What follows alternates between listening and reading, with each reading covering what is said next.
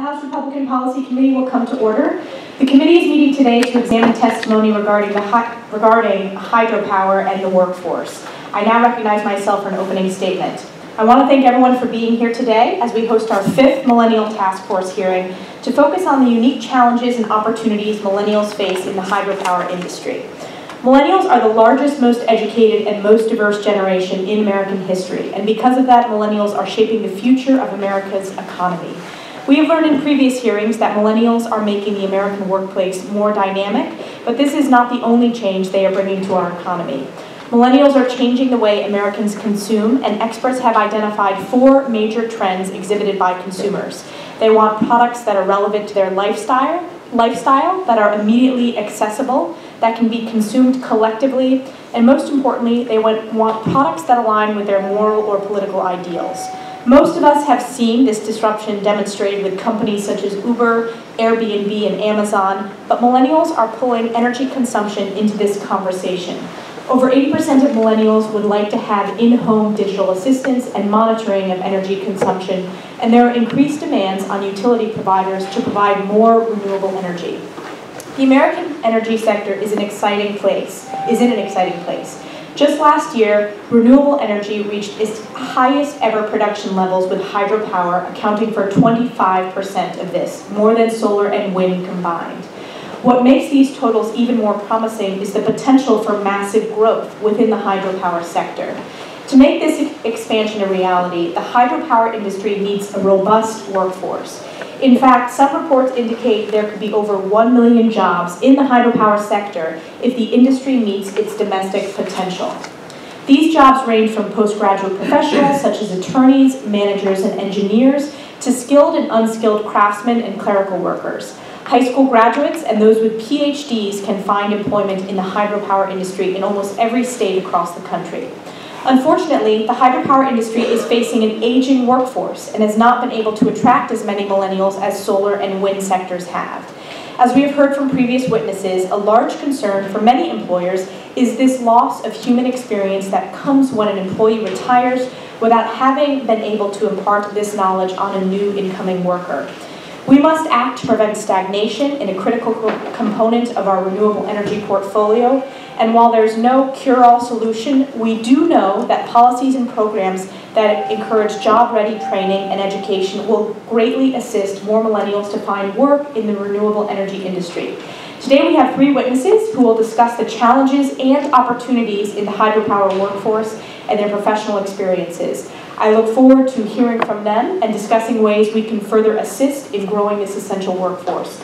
For those of you in the audience or watching online, you may have questions for our witnesses, and you can tweet your question using the hashtag, hashtag GOPFuture, and we may ask your question time permitting. We are fortunate to have a distinguished panel of witnesses before us today. I'll start with at my left, Mr. Mr. Charles Hernick is the Director of Policy and Advocacy at Citizens for Responsible Energy Solutions in Washington, D.C. Charles was brought on to lead CRES's foreign policy work and execute strategies to advance clean energy solutions and innovative approaches to reducing carbon emissions. Charles is an energy expert who understands emerging clean technologies, market barriers, and policies and regulation. For over a decade, he has worked at the crossroads of economic development, energy, and national resource management across the U.S. and on the ground in over a dozen countries in Africa, Latin America, and the Caribbean. Before joining SR CRES, he advised executive level, level decision makers at EPA and USAID on energy and environmental issues and identified project level opportunities for clean energy expansion. Um, Justin Trudell is the director of Brookfield Renewables Northeast Operations, where he oversees the day-to-day -day and strategic operation of 46 hydroelectric assets and one wind energy project. Justin has over 10 years of experience in energy generation and management, including his time in the U.S. Navy nuclear program. Justin has been with Brookfield Renewables since 2009, working in various roles and locations. Prior to joining Brookfield Renewable, he spent five years in the U.S. Navy as a commissioned officer. His first tour was aboard the USS Oscar Austin, where he served various roles and deployed to the Persian Gulf. He spent the remainder of his time in the Navy in the nuclear program, ultimately managing a team running and maintaining the reactors aboard the USS Harry S. Truman, which I actually have visited before, where he made a second deployment to the Persian Gulf. He holds a Bachelor of Science in Economics from the U.S. Naval Academy in Annapolis, Maryland. Our third witness is Mr. Adam Witt, who is a hydropower systems research engineer at Oak Ridge National Lab, the largest U.S. Department of Energy science and energy laboratory conducting basic and applied research on compelling problems in energy and security. His research focuses on evaluating, developing, and deploying innovative software and technology to advance environmentally responsible, cost-competitive hydropower generation. In 2006, he received his undergraduate degree in physics from Carleton College in Northfield, Minnesota, and spent four years working in the insurance industry before starting a graduate program at the University of Minnesota.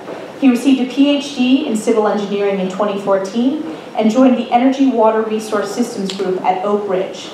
In that time, he has worked to improve water quality in the largest hydropower system in the country, optimize hydropower assets in the lower Mekong River of Southeast Asia, advance novel applications of pumped storage hydropower, and facilitate a collaborative effort for innovation in environmental design of small hydropower systems. Adam lives in Knoxville, Tennessee with his wife and two boys. Thank you to each of you for being here today. Uh, I will now recognize Mr. Hernick for his opening statements. Thank you and good afternoon, uh, Madam Chairwoman. I appreciate the opportunity uh, to be here and talk about the future of hydropower and the millennial workforce. Uh, as you mentioned, my name is Charles Hernick and I'm the Director of Policy and Advocacy at Citizens for Responsible Energy Solutions Forum. Uh, we're a nonpartisan, nonprofit organization committed to educating the public and influencing the national conversation about common sense clean energy. My remarks are informed by years of experience working as a consultant to U.S. Environmental Protection Agency on workforce issues for public utilities, specifically in the water sector, and over a decade working in the energy and environmental sector across the United States and abroad, and as a millennial myself. Uh, when it comes to millennials and hydropower, I'd like you to keep three things in mind. First, hydropower has a long, proven track record in the United States. We're building off of a legacy of stable, renewable power. Recent technological innovation makes it one of the most dynamic sources of power today. Second, over the next decade, a generation of workers will retire and require the hydropower sector to fill openings for well-paying managerial, supervisory, and highly skilled craft worker positions. Millennials will be among the strongest candidates to take these jobs. And finally, it's in our national interest to take advantage of such an abundant domestic natural resource and pair it with a new generation of human capital to build resilient local economies across the United States, especially in rural America. Thoughtful and effective public policy will help. Hydropower is a uniquely American clean energy source. The first hydropower plant opened 135 years ago in a small town in Wisconsin. In the century since, hydropower has become critical to our energy infrastructure. In fact, it provides four states with more than half of their power and another four states with at least a quarter of their power. At the same time, it fulfills essential needs like water management, flow and flood regulation, and land protection for areas that provide important ecosystem services such as recreation and critical habitat. Hydropower covers a, a, wide range of technologies. We're very familiar with the iconic conventional hydropower technologies, dams, they store water behind a generating facility and, and harness that power as it runs through the turbines. This type of conventional hydropower project represents the clear majority of U.S. hydropower generation. But the frontier of hydropower looks quite different and leaves behind many of the environmental and social challenges that building dams creates. The future of hydropower includes ocean wave, tidal, and hydrokinetic power. It also includes run-of-the-river approaches that maximize power generation and minimize disruptions to the river that affect local economies and often affect fishery-dependent economies miles away. One of the biggest opportunities from the hydropower industries comes from the hydropower industry's increased focus on projects that maximize the benefits of our existing infrastructure, dams, canals, water systems, even abandoned coal mines we can add new, more efficient generating equipment to existing facilities and add generating capacity to infrastructure that has none today.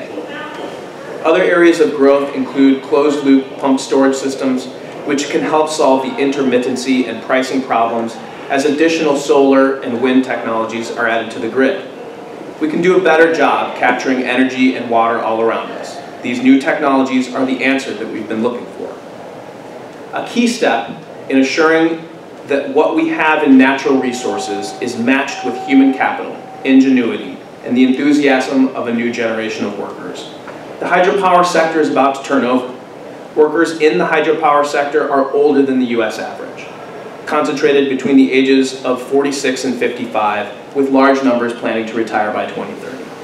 Fortunately, hydropower jobs are good jobs. The sector will need millennial, the millennial workforce to take well-paying managerial, supervisory, and highly skilled craft worker and technical positions. The right people for these jobs won't be ready overnight. It will take education and training to position millennials to research new technologies. It will take a new generation of engineers of all types, geologists, hydrologists, biologists, ecologists, to design systems that maximize power and minimize negative impacts. It will take construction workers, managers and skilled operators. This is an exciting field because it requires expertise from so many professions. These jobs are well distributed across the country too. Much of our existing dams are in rural America. And with emerging technologies, those canals, drinking water systems, wastewater systems, and waterfronts, urban infrastructure in need of repair and replacement can be retrofitted. Across America, the right minds must be put to the test of drawing out more power from the sleeping assets that we already have. I'm confident that millennials are up to the challenge, but it's also up to the men and women in the industry and our leaders, including our elected officials like yourself, to help articulate and build awareness of the opportunity at hand. Energy policy that truly supports an all of the above approach ensures that a level playing field is available as part of that policy, Congress should provide funding for critical programs that will make the future of hydropower cleaner. It's worth investing in and making the newest environmentally and fish-friendly technologies actually operational. We also need infrastructure policy that looks at revitalizing old assets as an opportunity for public-private partnerships and multiple uses that include energy generation. We also need to encourage innovation, options, and competition in the education system that will ensure that students can get a job after high school, pursue a trade or technical degree that will align with these highly skilled craft worker positions in hydropower, or pursue higher education for engineering and managerial positions. We need to start now by working with colleges and educational institutions so that the workforce is skilled and in time for the turnover of the old guard. Capitalizing on these opportunities will assure that we capture the economic and social benefits of both existing and potential new hydropower. Entire communities supported by hydropower generation and economic development are not a thing of the past. Done right, it can help preserve the character of our communities, especially those in rural America. Hydropower can support long-lasting careers that keep families together, boost local small businesses, stimulate overall economic growth, and generate tax revenue for key services such as first responders, libraries, parks, and yield less in air water pollution compared to other sources of energy production and avoid greenhouse gas emissions. It's my hope that Congress will make opportunities for millennials in the hydropower sector a top priority over the next few years.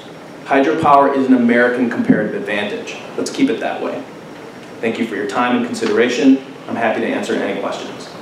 Thank you, Mr. Hernick. I now recognize Mr. Trudell for his opening statement. Good afternoon, Madam Chair. And thank you for providing Brookfield Renewable an opportunity to discuss millennials in the hydro workforce. My name is Justin Trudell. I'm Director of Operations for Brookfield. I've been with the company a little over eight years in various roles, from our control center in Marlborough, Massachusetts, out to our West Coast operating region in Los Angeles, and now I'm in our uh, Northeast region in Mass, New Hampshire, and Maine. Before joining Brookfield, I served five years in the Navy, and I am also a millennial, albeit on the cusp. Brookfield is one of the largest publicly traded pure-play renewable energy providers in the world. We have over 100 years of experience in power generation with full operations, development, and power marketing capabilities. Worldwide, the company has $26 billion of assets under management with over 10,600 megawatts of installed capacity. 88% of our power generation comes from hydroelectric generators situated on 82 rivers. In the US, we operate 137 stations and seven wind farms capable of providing for the energy needs of approximately 1.3 million homes. And in your district, we operate 55 hydro facilities with 136 local employees, roughly 30 of whom are millennials. Across North America, Brookfield Renewable employs 1,100 people. In preparation for this meeting, we performed a review of our employee database and found that roughly 54% of our full-time workforce belongs to the millennial generation. According to several internet sources, sometime around 2016, millennials surpassed Gen X and baby boomers to become the largest cohort in the North American workforce, something you alluded to earlier, making up somewhere around 36%. This would suggest that Brookfield Renewable is ahead of the curve. Looking at the data a bit further, however, I wasn't surprised to find disparities across our various job classifications. Most of our Brookfield millennials are working in the support services groups, HR, finance, energy marketing and trading, legal, and community relations. Millennials only make up 23% of our operations employees. And even in our operations group, we tend to find our millennials working in environmental and regulatory compliance, project management, or as remote operators, working at computer stations and controlling our assets from Marlborough, Massachusetts and Gatineau, Quebec. The percentage of millennials in our more blue-collar jobs, such as mechanical maintenance technicians and electricians, is well below 23%. Many of my crews are without a single millennial. In other words, there appears to be a real gap when it comes to the average portion of millennials in the overall workforce compared with those in the skilled trades or other blue-collar jobs. One of the things we do at Brookfield Renewable to address this gap in millennials in our technical skills trades is to use internships to introduce college students to the hydro industry. We also attend college and university career days in the communities where we have assets, and we host school field trips to our facilities. These efforts are aimed at keeping hydropower in the forefront of soon-to-be college grads, as well as the next generation of the workforce. Unfortunately, hydro is too often seen as an old technology that doesn't get its fair share of the clean power spotlight. We have several assets, for example, that have been generating clean, renewable energy for over 100 years. And across the U.S., hydro has been part of the energy mix of most states for many decades, making up some portion of their baseload power. And although I don't have statistics for millennials working in solar and wind, hydro's relatively low profile and comparative lack of media attention may account for a lack of younger workers occupying our blue-collar jobs. Interestingly, however, hydropower's importance to the electric grid is increasing as it rapidly evolves and decarbonizes. Hydropower enables the increasing penetration of intermittent renewables by balancing these resources with clean, renewable electricity rather than relying on the so-called brown grid. Hydropower also provides robust energy storage capabilities and flexibility that enhances grid reliability and resilience, maximizing benefits to consumers. All of this happens without visibility or fanfare, and as a result, many millennials may not recognize the importance of hydropower as a baseload, flexible, and non-emitting resource that is actively enabling the grid of the future. As the U.S. increasingly shifts to a renewable energy future that millennials in particular are demanding, Brookfield will continue to partner with government representatives at the state, local, and federal levels to underscore the importance of hydropower. These efforts will help ensure that hydropower is not only valued for its many environmental and reliability attributes, but is also seen by millennials as an integral part of the country's rapidly decarbonizing electricity supply. Thank you for your time this afternoon. Thank you. I now recognize uh, Dr. Witt for his opening statement. Good afternoon, and thank you for giving me the opportunity to reflect on my experience in the hydropower industry. Uh, I'd especially like to thank you, Representative Stefanik, for convening this dialogue on issues that matter to millennials. My name is Adam Witt, and I'm a hydropower research engineer at Oak Ridge National Lab. I'd like to describe my path into the industry and then focus on two areas that motivate me as a millennial. Support for education and mentorship, and creating an environment for scientific and technological innovation. I should begin by verifying my millennial credentials. While I was surprised to hear I technically fit the criteria for the label, my post-college life and career path in many ways typifies the millennial stereotype. I've moved 10 times in 10 years since graduating college and recently bought my first house at age 32.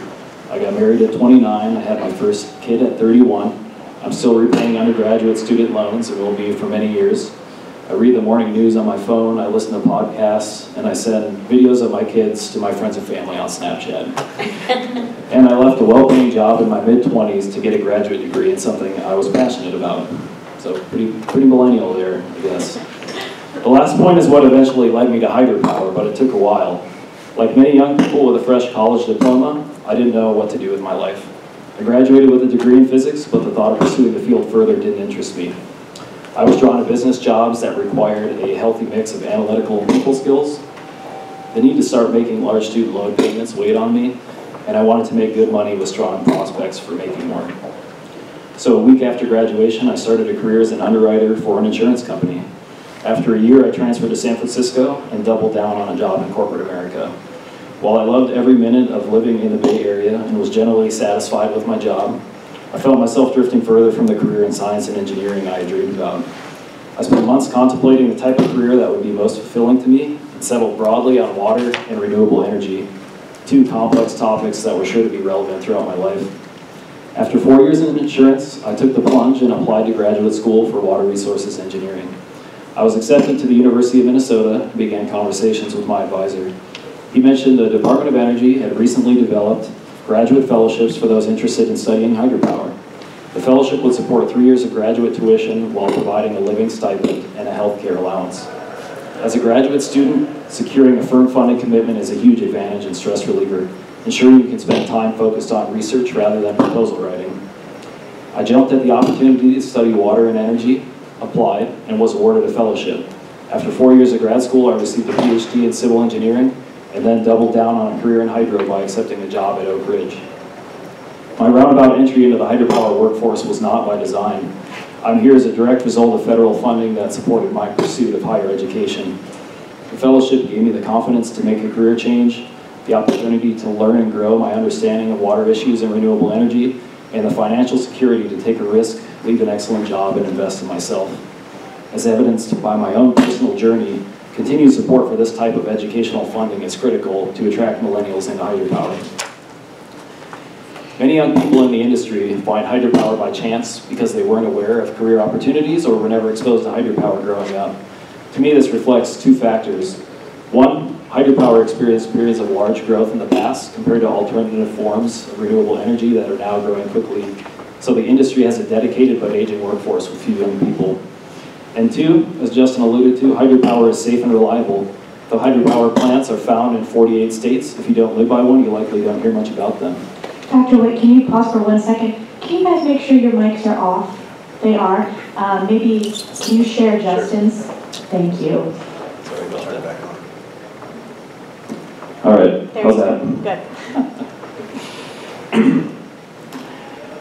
So in my opinion, support for education and mentorship is crucial to overcome these barriers and attract new talent into the industry. One nonprofit, the Hydro Research Foundation, has been exceptional in growing the hydropower workforce. The Hydro Research Foundation, or HRF, awards graduate fellowships to students researching anything hydropower, from dam safety, fish passage and materials engineering, to sediment transport, climate change, and public policy. Full disclosure, HRF managed my graduate fellowship, so I'm admittedly biased but the fact that I'm here today is a testament to their success with millennials. To supplement educational support, HRF pairs each fellow with an industry mentor who offers career and research guidance. There's often a daunting gap between what is taught in the classroom and what a young millennial professional needs to know to get things done in industry. HRF helps bridge that gap by facilitating knowledge transfer from industry leaders to the next generation of hydro subject matter experts, professors, utility executives, and policymakers. I believe another immediate opportunity to grow the hydropower workforce is to offer educational support to millennial veterans transitioning to civilian life. Veterans understand team dynamics and are civic-minded. Many have a high technical aptitude with mechanical, electrical, and maintenance experience, and most are doers with tremendous discipline. Their uncommon attributes would translate extremely well to hydropower. Much of our largest and oldest river infrastructure was constructed to enhance the U.S. World War II effort Dams and reservoirs are critical infrastructure and energy sectors central to the economy and our national defense. And hydropower turbine generators are some of the largest and complex turbo machines in the world. The promise of a stable and challenging job supporting critical renewable energy infrastructure is a compelling proposition that needs to be made to our veterans in a more coordinated way. I believe the federal government has a unique responsibility to support hydropower education and training for two reasons. Most of the hydropower capacity in this country is owned by the American people through federal agencies like the Army Corps of Engineers, the Bureau of Reclamation, and Tennessee Valley Authority. And our shared water resources are a national treasure. A true commitment to renewable electricity from water must be matched with a commitment to educate and mentor the next generation of hydropower stewards. I'd like to finish by talking about innovation and hydropower. I hear the same story from many young millennials looking for work in renewable energy. They're eager to channel their passion to change the world and they don't know where to start. They want to innovate and be creative, but they need to push in the right direction. I see two specific hydropower opportunities that need creative innovation and could capture this energy. Low environmental impact technologies and smart infrastructure. Though hydroelectricity is carbon-free and fueled by self-replenishing rivers, hydropower facilities have well-documented environmental impacts. Many of these are mitigated through structural and operational adjustments. Some are serious and threaten the stability of entire aquatic ecosystems. The industry needs forward-thinking solutions to move towards goal-oriented environmental improvements that also maintain the important energy and multi-purpose benefits of dams and reservoirs. For example, enhanced sediment connectivity and reestablishment of disrupted fish migration corridors would provide benefits that cascade throughout entire watershed systems. Healthy rivers lead to resilient watersheds, clean water attracts outdoor enthusiasts and investment dollars, and abundant stocks of fish and biota are indicators of high-quality river systems. More efficient handling of sediment and fish also ensures turbines are operating as designed with minimal wear and tear. Most existing solutions to these issues reduce the energy output of the plant, generally, generally leading to higher costs and more generation from non-renewable resources. Greater investment in low-impact technologies and solutions to common environmental issues would be a win-win for the industry that would also spark the interest of purpose-driven millennials. Finally, I believe we have a real opportunity to pair infrastructure upgrades with advances in water resource science to catalyze a new wave of innovation in smart hydro systems. The river networks and power systems that surround our dams are evolving. Climate and hydrologic variability are changing the character of entire watersheds, making us rethink how we operate reservoirs. Hydro plants are being called on more and more to balance intermittent generation from a growing fleet of wind and solar resources. Though the hydro industry has a low appetite for risk, a necessary requirement when the safety of life, health, and property is the number one priority. The industry is adept at adopting innovative technologies as they are proven reliable. To foster innovation of reliable solutions, infrastructure invest investments should come hand in hand with a pledge to invest in a full continuum of scientific and engineering understanding. From sensing and monitoring the world around us to innovative design to testing and deployment. We need better information about the surrounding natural environment to ensure dams built 80 years ago will last another 80 years. Investments in data collection, analysis, and scientific interpretation to create robust forecasting and support tools that enable smarter, cost-effective short-term actions and sustainable, more informed long-term decision-making. Design and testing support for pioneering but unproven new structures, generation equipment, and repair methods that must perform well for decades. Development of inventive software, sensors, and analytic tools that use better data to predict failures before they happen. With support for innovation from water to wire, we can spark a renewed creative, creative effort capable of advancing the legacy of hydro as a safe, reliable, renewable energy resource. Technological innovation is unleashed through scientific discovery. This is the message for hydropower that many millennials can and will latch on to. In closing, I'd like to thank you for giving me the opportunity to share my thoughts on how hydropower can be a compelling industry for millennials. River systems and water, matter, water infrastructure matter for everyone, not just millennials. It is our shared responsibility as a nation to protect them for future generations. Thank you. Thank you very much. Um, all of the opening statements were um, very well put together and right on topic of what I hoped to cover uh, as part of this conversation. Um, both Charles and Justin, you referenced the aging workforce and how that's a challenge uh, when it comes to hydro. Um, I'm particularly interested in what we can do to make sure that we develop a pipeline. And I'll give you an example of an experience I had this past week. I was in uh, my district during our district work period and I visited um, the Institute of Advanced Manufacturing, which is a part of a community college in Plattsburgh in my district. And they have uh, a very effective wind energy program that is a pipeline for wind projects throughout my district and frankly across the country. Um, to my knowledge, they do not have a program specifically focused on hydro. what can we do to further encourage um, workforce development and pipelines for those operational jobs that you referenced, Justin, uh, that are currently not being filled by millennials? Uh, why don't I start with Charles and then I'll go down the line. Sure. Uh, thank you for the question. And there's a, to be able to in increase, uh, we're talking about increasing awareness, you know, generally overall, and, and trying to find opportunities for, for folks who are pursuing technical degrees uh, to be able to move into the, the hydro sector.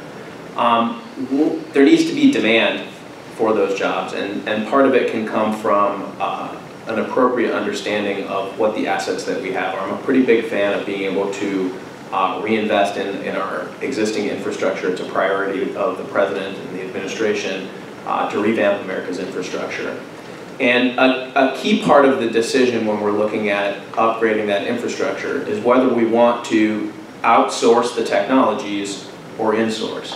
When you look at the 100 years of hydropower that we already have in place, many of that infrastructure was built, those turbines have been, were built by companies that don't exist anymore. Um, to revamp those hydropower systems, you have two options. Either you can take down the whole dam and rebuild the whole thing from scratch, so it's an expensive proposition, and then you may be selecting turbines you can choose to buy American or not.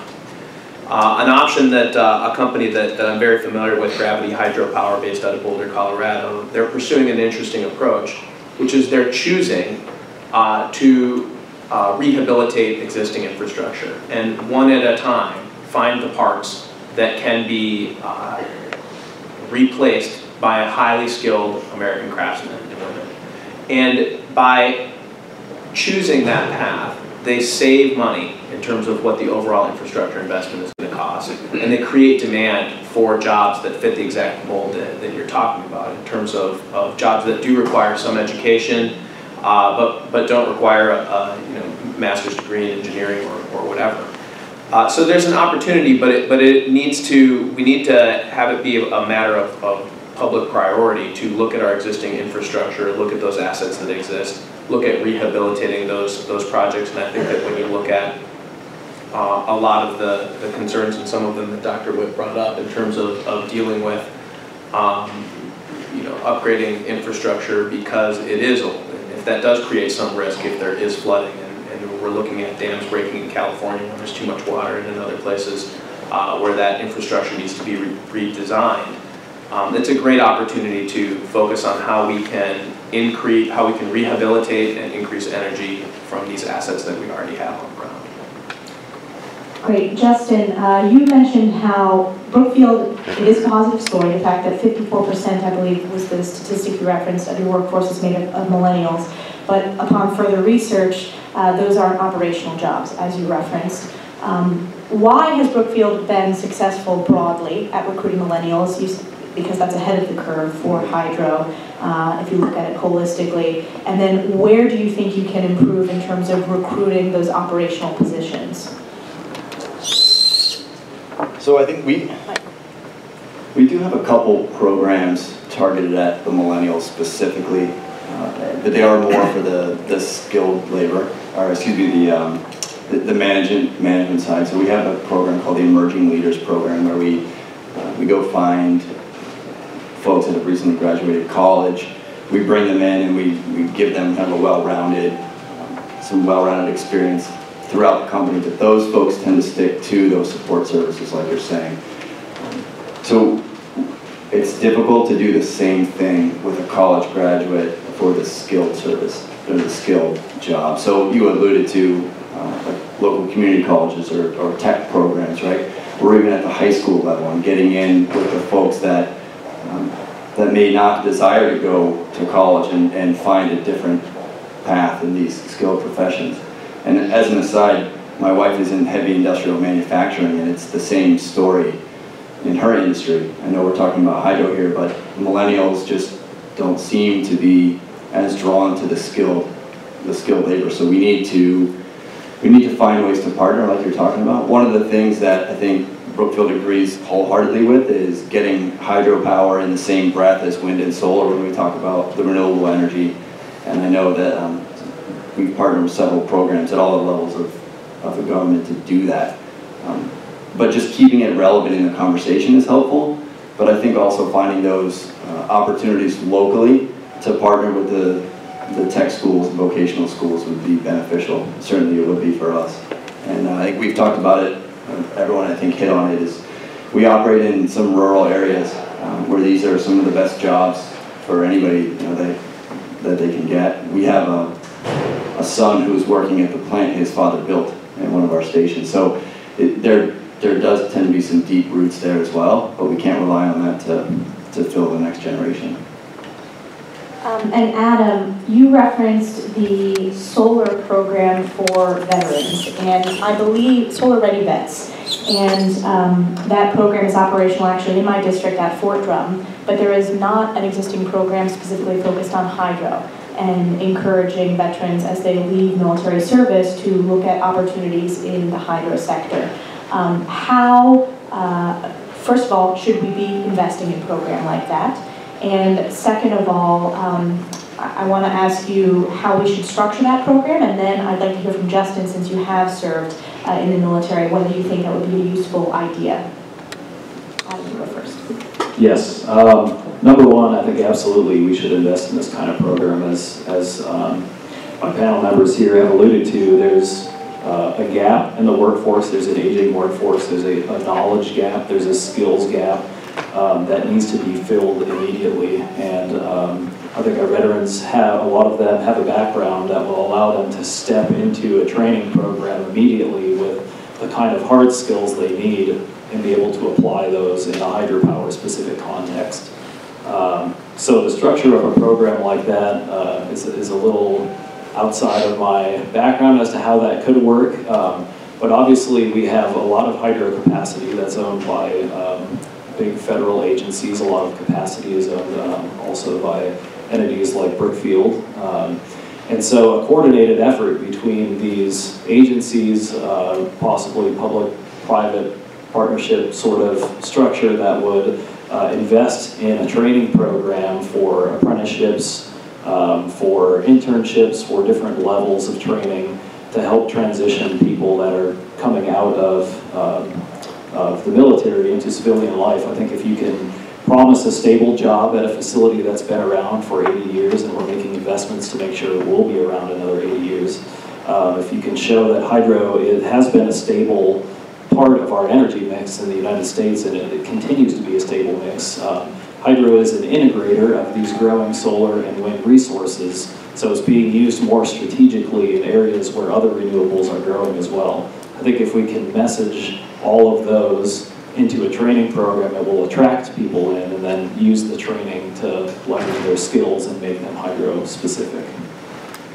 And Justin, I am curious from your perspective, since that you graduated from the Naval Academy and served in the Navy, uh, whether we think developing that pipeline would help fulfill some of the needs of the hydro workforce. Absolutely, and I think um, you know even more, Adam, than than vets being able to step into those training programs. I would contend that there are a lot of jobs in the military, MOSs and whatnot, in the military that are actually analogous to day one work, right within the workforce. Um, electricians, maintenance mechanics, turbine techs, they, they all exist already in the military. So it's more about getting that, uh, that frame of mind into the veterans from, from day one, even before they separate, right? So a lot of the TAP classes and some of the other programs that are available for vets as they're leaving active duty is to see if we can get some of these concepts ingrained in those courses so that when a veteran electrician asks, you know, what can I do after I get out? It's not just wind and solar, it's hydro. Um, and we spend a lot of time as well bringing veterans back to the states where they grew up. Not everybody wants to live in the Northeast, um, you know, where, where we have our operations right now. Um, but we have been successful at bringing veterans to the Northeast who had roots there um, previously. So uh, you know, aside from the training as well, I think it's even even about making it a priority at, at separation or before. All three of you have mentioned the lack of awareness, and we keep millennials hear every day about wind and solar and opportunities in those sectors. Um, Adam, you talked about discovering the fellowship program later quite late, you know, not when you first started your undergraduate career. It was later on after you had graduated and decided to go back and pursue uh, graduate and a, and a PhD program. Um, would being exposed to the HRF earlier, uh, you think, have made you make that switch to hydro in your career at a younger age? Um, and as a follow-up, uh, how can we further promote that type of mentorship and exposure in higher ed of hy- hydropower opportunities?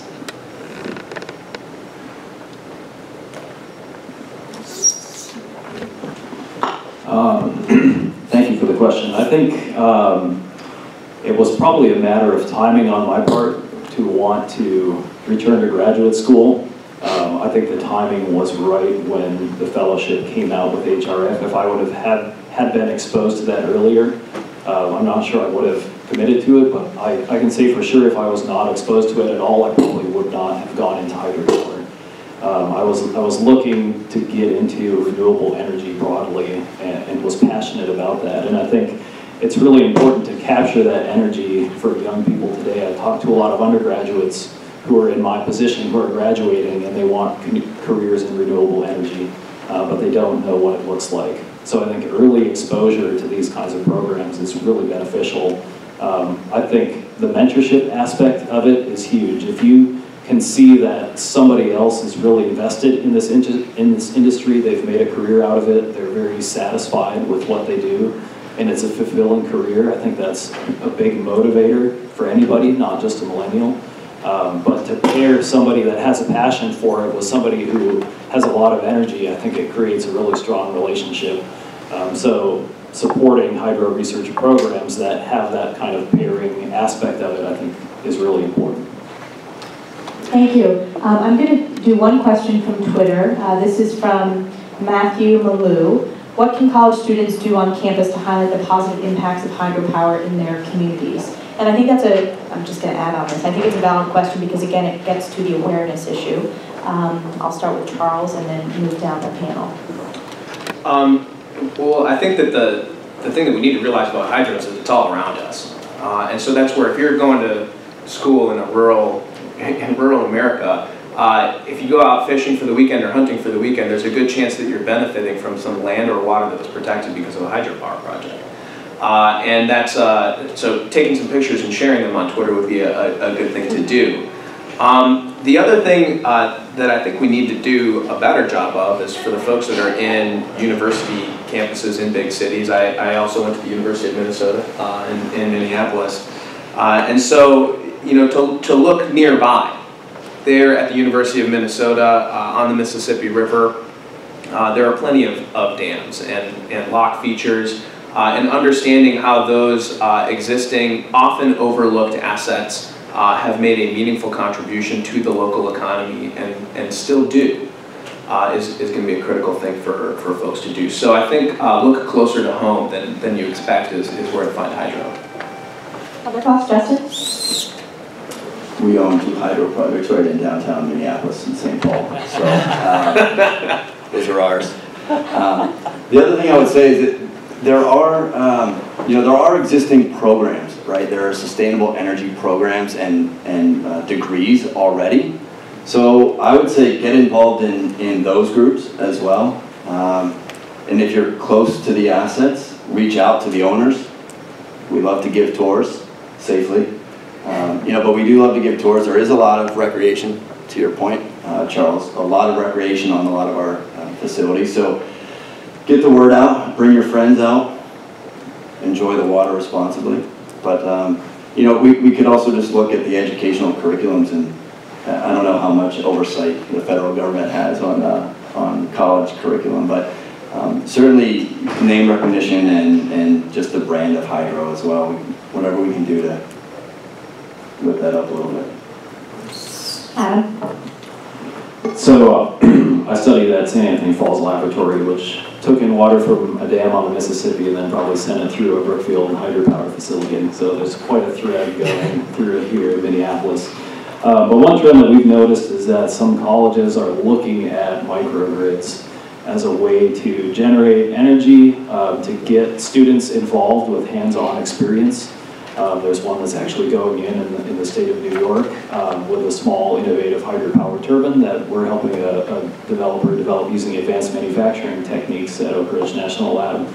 So um, just asking the question, what does our electricity mix look like on campus? Where are we getting the electricity? Is there an opportunity to possibly, uh, you know, invest in uh, more local infrastructure, more local energy mix, uh, and see if hydropower can play a role in that mix is one possibility.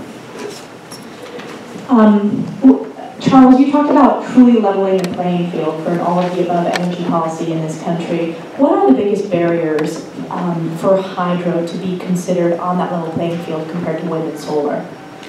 Well, I think that uh, when you look at hydro, it's an industry that's, that's already standing on its own two feet and doesn't benefit from uh, the extra subsidies that many fossil fuel uh, industries uh, benefit from, and solar and wind. Um, So I, I think that the argument is that, that hydropower is ahead of the game when you're looking at a lot of, uh, you know, the technologies.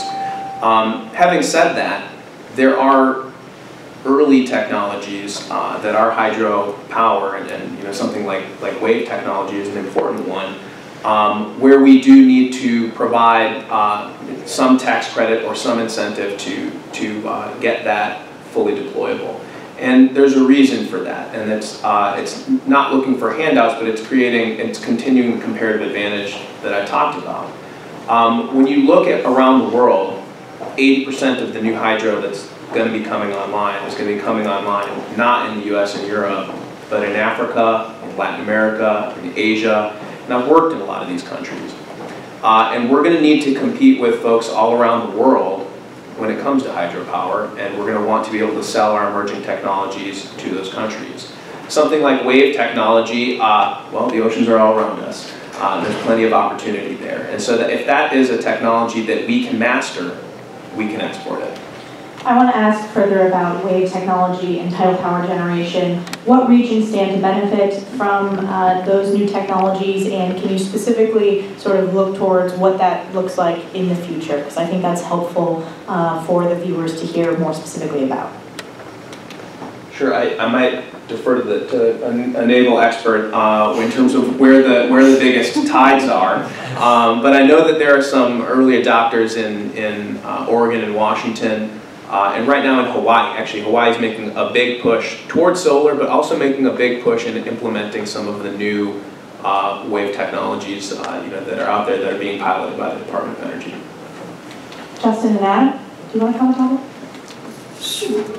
I'll defer to you. So while Brookfield doesn't tend to be a first mover in new technologies, um, I can certainly speak to the, uh, you know, the benefits of hydropower in the all-in energy grid. Uh, I talked a little bit in my opening remarks about the, the, role that hydropower can play in the increasing penetration for intermittent resources like solar and wind. So hydropower could could be paired very easily, and Brookfield is, is trying to do that, to pair it with new build wind and solar and provide a firm price or firm energy bid, right? So that when your wind drops off or at night, um, you can ramp the hydropower up and you can keep a stable energy supply. So um, qualifying hydropower as renewable in, in the grand federal language is helpful. I think there's a federal bill um, that's already uh, up for consideration that changes the definition of renewable to include existing hydro. Um, renewable energy tax credits, uh, they're tiered in most places, and existing hydro generally doesn't qualify for the, uh, the more lucrative higher tier subsidies and credits. So um, you know, finding a way to, to level that playing field as well. And um, Adam spoke about um, you know, the, the fisheries and, and maintaining the aquatic habitat. Uh, and, and that's expensive to do. Um, Brookfield recently completed a $14 million fish passage at a 14 megawatt facility on the Kennebec River in Maine. And it's something that, that we're, we're happy to do and proud of. Uh, but that type of investment uh, in the assets could be greatly benefited you know, by some, some offset with with tax credits or, you know, or further qualifying a hydro as There's Low Impact Hydro Association as well, so there are other programs.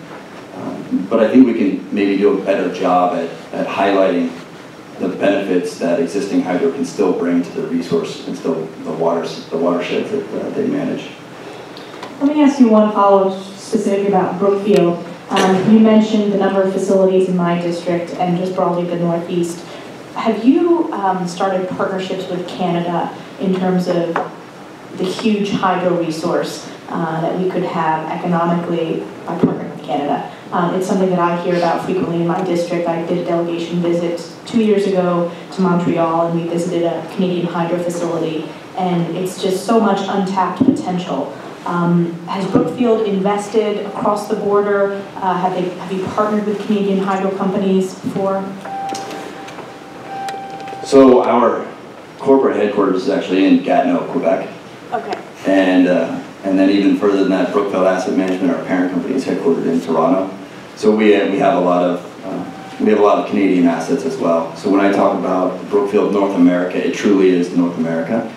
Um, I think we would tend to view the major players in the Canadian hydro industry as um, competitors, but certainly um, finding ways to increase uh, exposure, and that's something we could all agree on, or, um, or finding ways to better allow electricity back and forth across the border is certainly something that, that we could get behind as well. Um, What are the biggest barriers? We talk about modernizing the regulatory process to, um, uh, whether it's a hydro facility or various energy products. It's something that we work uh, in my office a lot with uh, local communities, local elected officials, when there are red tape barriers that they run into. What are those biggest barriers for hydro, bringing it into the 21st century? Adam, I'll start with you.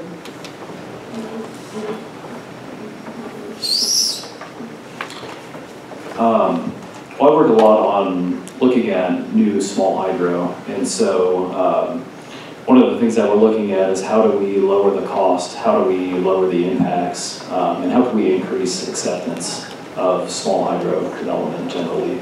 Um, and so I think there are uh, a lot of challenges within that. We did a review of the FERC licensing process um, as one of our projects for the Department of Energy and found that uh, successful projects takes about five years to go from when they apply for a preliminary permit until when they receive a license to operate. Um, and that's before they can begin any construction on a project.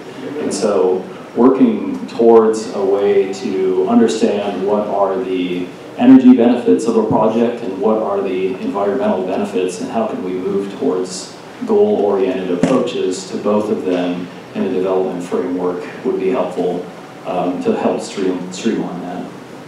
In terms of the FERC process, what portion of that process takes the longest time? Did your study go into that as well? I mean, where's the biggest lag? Five years is a long time, especially when you're considering uh, millennials who are moving around. And within five years, they've already probably changed out jobs twice uh, in that time period. So what specifically uh, is the biggest lag time in the FERC approval process? So there were three steps that we looked at. It was from when you filed a preliminary permit till when you were granted a preliminary permit.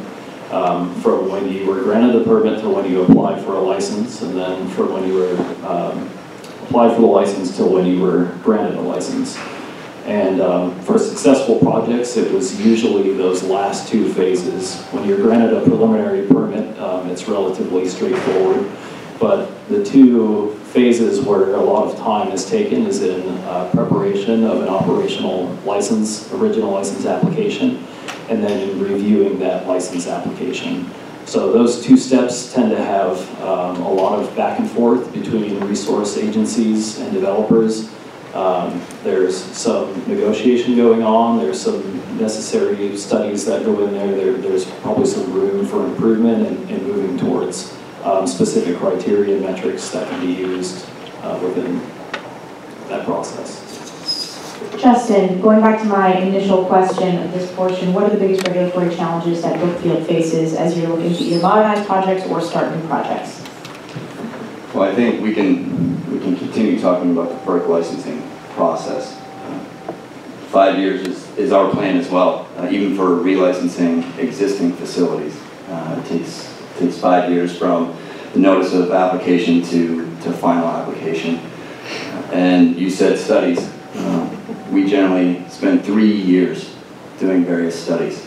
Um, And depends on how many stakeholders there are, how many other interested parties are, are um, involved in that as well. So I'm not, I'm not saying by any means we should, we should cut that out. Um, It's, it's important to understand the impact. The- These licenses are gonna last anywhere from 30 to 50 years, depending on, you know, how much uh, reinvestment there is in the asset. So quite a bit of negotiations with, with stakeholders and a lot of environmental studies. So maybe able to find some efficiencies on, on those studies or um, do a little bit more uh, pre-planning and get everybody on the same page in terms of what, uh, what studies are, are gonna be proposed and then agreed to. Sometimes what slows us down is we'll agree to a study approach with all the stakeholders, we'll perform the study, we'll provide the results, and then somebody wants us to restudy, you know, or study a different way or a different methodology. So I think by getting some clarity early on on exactly what the study plan and program would look to, and then stick with it would, would help cut some of that. That was a great suggestion. Charles? I, I think that, uh, in, in my mind, FERC permitting is, is the biggest barrier to, regulatory barrier to bringing hydropower into the 21st century. Um, so stepping aside from the, the permitting issue, the money is really the, the major thing. I mean, we're, we need, uh, money and demand is what's gonna drive projects and what's gonna drive interest. Uh, and it's not gonna be easy for the hydropower sector because we're in an age where energy prices are low. Uh, natural gas has brought prices way down, uh, solar is more cost competitive than ever, and, and wind prices are coming down too. So when we're talking about new generation and even retrofitting, uh, there's a serious, you know, cost curve that, that folks are going to need to look at and, and understand. The opportunity with hydro isn't just on the, the profit end of it. There's a huge opportunity on cost savings for some industries that are energy intensive already. Uh, and I'll use an example that I'm, that I'm quite familiar with, which is the drinking water and wastewater utility sectors. These are public utilities or, or private utilities. Um, overall, the water sector, drinking water and wastewater, uses about 3% of our nation's energy. That doesn't sound like a lot, uh, but when you look at what their costs are, 80% of their cost comes from moving water around, pumping, uh, pumping water and moving it around. So if they can generate their own electricity, they can reduce their own costs and use that money for something else. I sort of doubt that it's going to trickle, uh, you know, down to, to reduce water rates, and I don't know that that's, you know, actually necessary. But if it provides them with the financial, with the finance, uh, where they can use money that they've saved from investing in hydropower in a water industry, and use that to rehabilitate their, uh, you know, deteriorating pipes and treatment plants so we can avoid situations like we saw in Flint, Michigan, and other cases that are well understood in this country, I think that that would be a big benefit. Uh, and so we need to look in places where, uh, I think that's the beauty of hydropower, is that it's not just about uh, generation for increasing overall uh, capacity on the grid. It can also be looking within industries, within businesses, within utilities, to see how we can reduce costs uh, and just be more efficient overall. Um, My last question, both Justin and Charles, you referenced the opportunity in rural America. Uh, And in my district, I represent a third geographically of New York State. Um, It's, it's one of the, lar- it is the largest district on the East Coast. And uh, there was a chart that was published this weekend, broken down by county, uh, that highlighted the lack of economic opportunity in parts of rural America when compared to suburban and urban parts of the country. What um, do you have metrics or uh, potential stats on what an investment in hydro can look like for rural America that has been left behind in so many uh, in so many ways by, by so many ways that we measure uh, economic opportunity? You know, one way I could ask the question is what percentage of your projects are in rural communities versus urban suburban? A lot. Anything more specific? Other than Minneapolis and St. Paul, uh, which we've touched on. we have touched on Minneapolis. we discussed that? Um, No, so uh, anecdotally, think, I don't have hard numbers uh, in front of me, but uh, I'm just, I'm flashing through all the sites that I'm responsible for. Uh, We've got a couple in Lewiston, Auburn, Maine, which, uh, you know, it's not huge, but, and some in the Bangor area, but the majority of our assets are, are an hour's travel from those large cities. Our wind farm is in Berlin, New Hampshire. You're not gonna find much around there. So, uh, quite a bit of our hydro is in, is in the rural areas and not around built-up uh, suburban areas. Um, Perhaps we can follow up with some more specific uh, metrics from your business. Adam, as you are working on new projects, um, what percentage are in rural um, regions versus suburban and urban? Um, I don't have hard numbers and we don't have specific projects that we work on, but we have paired with some technology developers. I would say um, there, some of them are looking um, in some more rural areas where you have non-power dams, tends to be the opportunity.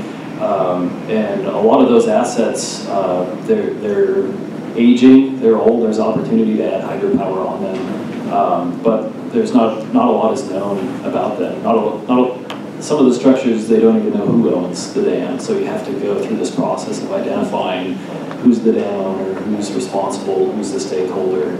Um, But I think that an opportunity exists to identify where are the, those opportunities in rural areas for this immediate um, kind of hydropower opportunity at non-power dams.